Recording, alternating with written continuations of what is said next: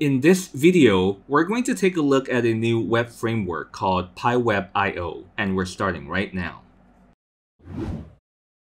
So PyWebIO is a simple web framework that does not require you to have any knowledge of HTML and JavaScript. Although if you have those knowledge, it can come in handy because you could integrate those code right inside your Python web application. And so in order to install PyWebIO, you can go ahead and use pip install. And if you would like to have the newest version, you could also install the development version as well. But for myself, I'm using the stable version. So you can go ahead and use pip install and then PyWebIO. And so the web application that we're going to be building today is going to be based on this particular example. So it's going to be a simple web application that will allow you to calculate the BMI. So all you need to do is input the height and also the weight, and then the web application will do the calculation.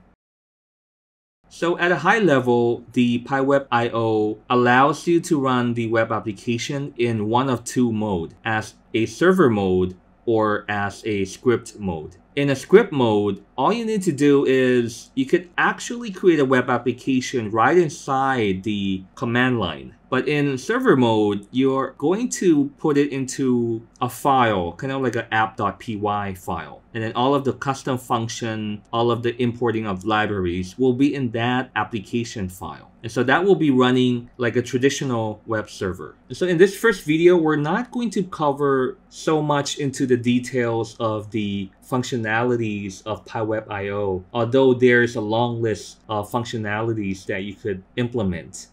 And so in a nutshell, I would recommend for you to take a look at pywebio.input and also pywebio.output. So input is essentially allowing the web framework to get input from the web browser. So essentially you could have a text box that will allow you to input the numbers or input the names or input attributes or information into the web application. And then on the back end, you could perform some processing using the variables that are provided as input. And then after you have done some form of processing, you could spit the resulting output out. And you could do that by using the pywebio.output. And so there's a long list of functions of various output that you could use, such as a normal text, markdown output, table output, image output, etc. And you could even control information parameters pertaining to the session of the web application and also the platform for deploying the web app. And so in today's tutorial, we're going to be building this simple BMI application. And so let's get started.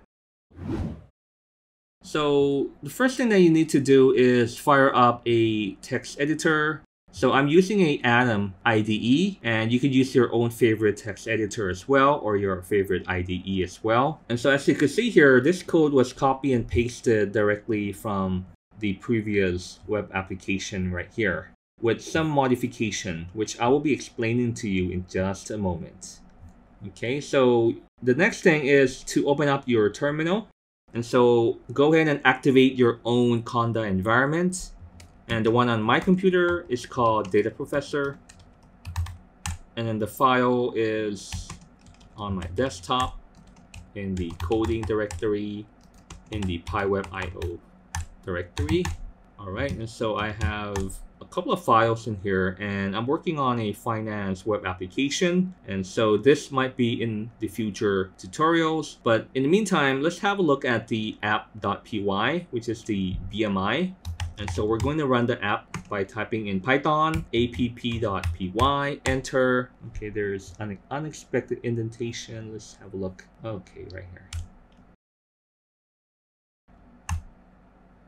All right, and so notice that when it's working, it's going to have a message printed out as follow, listen on, and then the port number 80, and the IP is 0000, which is on the local computer. And then I'm going to refresh the browser here.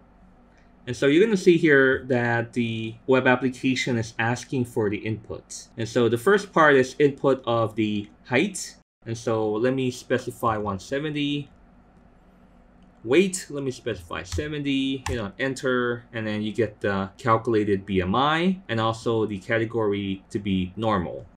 So let's have a look under the hood here. And so the first couple of lines will be importing the necessary libraries used by this web application. And so we're importing PyWebIO, which we will be using on the last line here. I'll go over that in just a moment. And then from PyWebIO.input, we're going to import input and float. And from the PyWebIO.output, we're going to be importing specifically the put text, put HTML, put markdown, and also put table. So we're going to make use of all of these functions and so here they're creating a custom function called BMI. And then as you will see here, the arguments will include defining the height and the weight. And the height and the weight variable will be taking as input the values of height and weight as you will see right here when we refresh the web app. So input your height is right here on lines number 7 and the type is float. Let me put in 170 and then import your weight is on line number 8. Import your weight, type is also float. I'll put in 70. But let me try put, putting in random number, like, like random text like ABC. Let's see what happens. Okay, so I get a warning message saying that the input is not valid. And so it's detecting that we're not putting in the numbers. Alright, and then it calculates the BMI.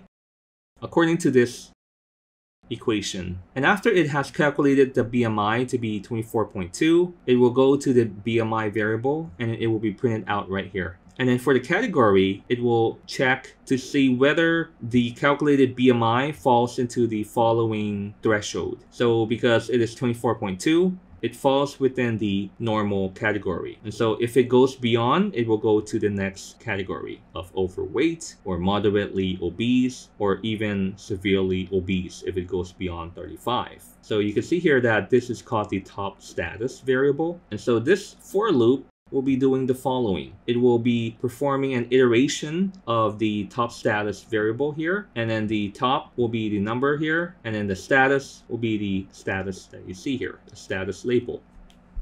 And then if the BMI value is less than or equal to the top value, which is the numbers that you see right here. If it's less than or equal to, then it will do the following. It will print out the text and it will also print out the status and also the BMI value. And also before that one line, it'll also print out the markdown of results. And the double asterisk that you see here will make the text in a bold text and the hashtag that you see here will be making the text as a heading 1, meaning that the size will be big as a header. And you also see that there is a underline underneath it as well, which is a horizontal line.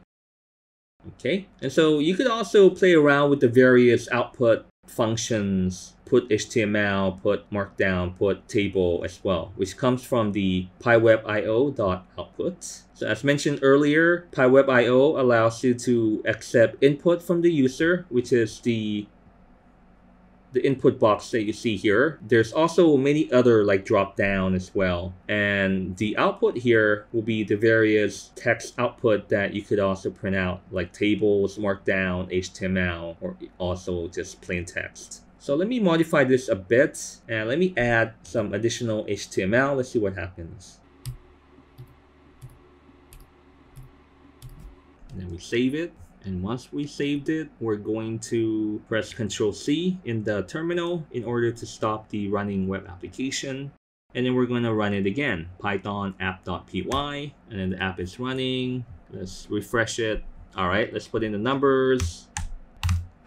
And then you can see here that the output of right here is going to be the put text, which is a plain output. And so here on the line 20, we're using put HTML function, which uses the double BR tag. And so that provides us ample white space underneath the first line here. And then for the put markdown function, we're putting in the text and then it's going to essentially be the same as the one in the put text. But then we also added, as you can see, the tick symbol here. And so the tick symbol will allow us to put in the special formatting on the value of BMI and also the status here. And so you notice that the color will be a bit red here. For normal as well. And also for lines number 22, we're going to be making use of the put HTML function, which allows you to put HTML tags in here or HTML codes in here. And so the horizontal rule is right here. And you could also put the resulting output in the form of a table. So we're using the put table function. And so here, this is the first row and then the second row of the table.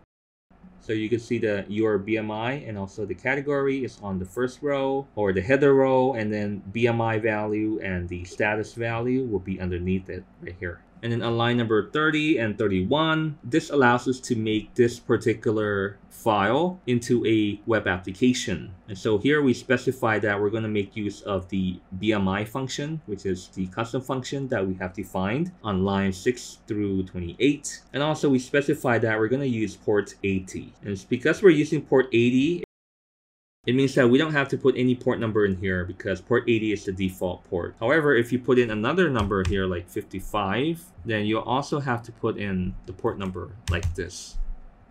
Okay, so there you have it, a simple web application using the PyWebIO library in Python. And so I'd love to hear from you how you plan on using the PyWebIO for your own data science projects. And so if you're finding value in this video, please give it a like, subscribe if you haven't already, hit on the notification bell so that you will be notified of the next video. And as always, the best way to learn data science is to do data science. And please enjoy the journey.